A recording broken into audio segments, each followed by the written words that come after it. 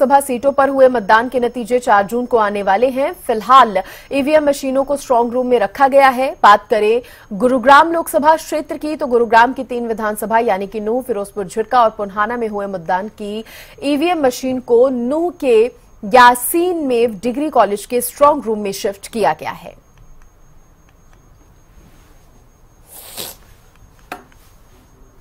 चुनाव हुए हरियाणा की 10 की 10 सभी लोकसभा सीटों पर।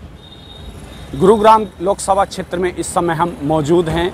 गुरुग्राम लोकसभा क्षेत्र की नूह विधानसभा की हम तस्वीर आपको दिखा रहे हैं। यहाँ पर ईवीएम मशीनों के लिए स्ट्रॉन्ग रूम बनाया गया है। यासीन मेव डिग्री कॉलेज है।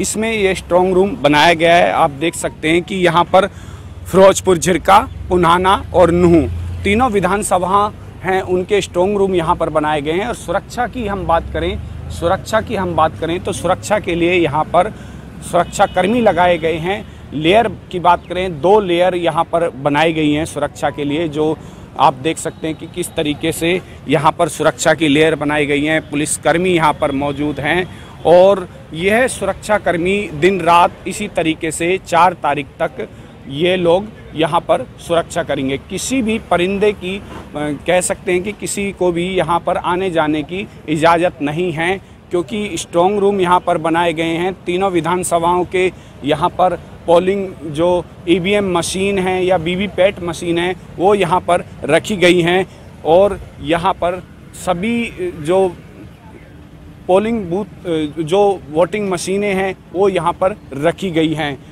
चार तारीख को, चार जून को नतीजे आएँगे और यहीं पर जो मशीनें उनकी गिनती काउंटिंग होगी और उसके बाद ही पता चल पाएगा कि किसके सर इस बार ताज सजेगा। हरियाणा न्यूज़ के लिए नूह मेवात से अनिल मोहनिया